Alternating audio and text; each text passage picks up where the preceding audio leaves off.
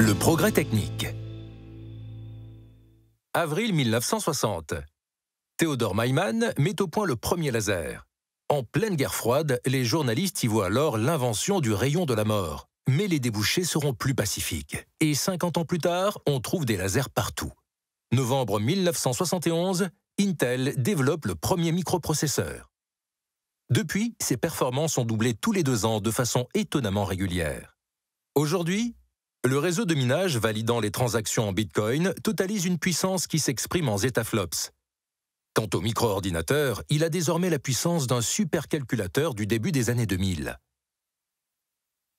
Le progrès des techniques utilisées pour le traitement de l'information est devenu, sur les 50 dernières années, si rapide qu'il a donné naissance à une véritable révolution industrielle. Celle-ci fait évidemment référence aux révolutions connues au XIXe siècle lors de la domestication de l'énergie, mais elle s'opère à un rythme infiniment plus rapide. Des vitesses de progression incroyables. La progression des performances des dispositifs numériques advient à des vitesses inouïes. Le monde a été confronté à des révolutions technologiques successives. Mais les progrès se mesuraient alors sur une échelle arithmétique, traduisant une amélioration de performance d'un facteur constant chaque année.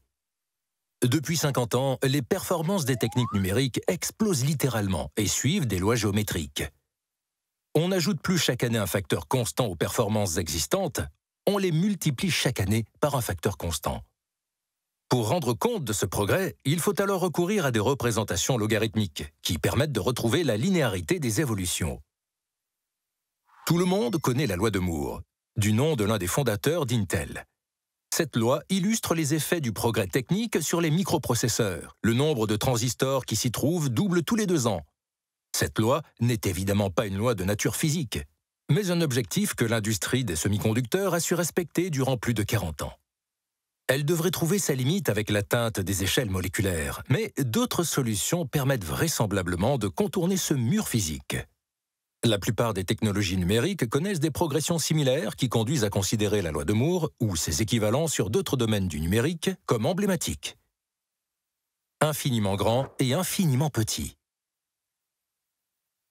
Exprimées sur les échelles du système décimal, les performances du numérique parcourent deux échelles.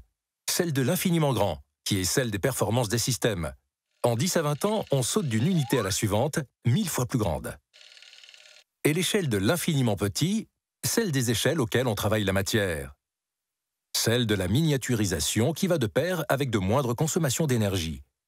La technologie offre actuellement des capacités dépassant le Tera et se situe donc entre le péta et l'hexa, tandis qu'elle travaille à des échelles micro ou nanoscopiques.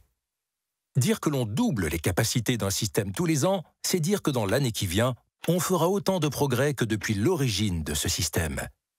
Qui plus est, l'évolution des performances ne conduit pas à des hausses de prix similaires, bien au contraire. Quel que soit le système technique considéré, un ordinateur, un smartphone, une mémoire, un robot, etc., la hausse des performances se fait rarement à prix constant, mais s'accompagne plutôt d'une baisse des prix. Paradoxe de la vélocité. Cette vélocité du progrès technique induit des effets paradoxaux, dont trois doivent être soulignés. Premièrement, toutes les techniques ne progressent pas à la même vitesse, créant des écarts qui s'affirment très vite du fait de la rapidité du progrès, entre par exemple les technologies logicielles et les technologies matérielles. Cette absence d'homothétie dans le progrès technique conduit à des substitutions fréquentes de techniques dans les systèmes complexes. Elle explique notamment pourquoi, à certains moments, la modularité s'impose pour permettre de substituer des briques techniques au sein même de ces systèmes complexes. Deuxièmement, si le progrès résulte fréquemment d'innovations de rupture, comme l'ont été le laser ou le microprocesseur, l'innovation se présente paradoxalement au quotidien de façon très incrémentale pour contrer des attitudes d'attentisme de la part des agents économiques, tant les consommateurs que les producteurs, et afin de ne pas produire de décalage trop fort en matière de concurrence ou d'usage. Troisièmement, tout projet d'innovation bâti dans un contexte numérique doit anticiper l'univers numérique dans lequel il verra le jour cette anticipation est délicate, mais rien ne peut rester égal par ailleurs. En 2025, nos smartphones, nos voitures ou nos robots auront la puissance des plus gros supercalculateurs d'aujourd'hui.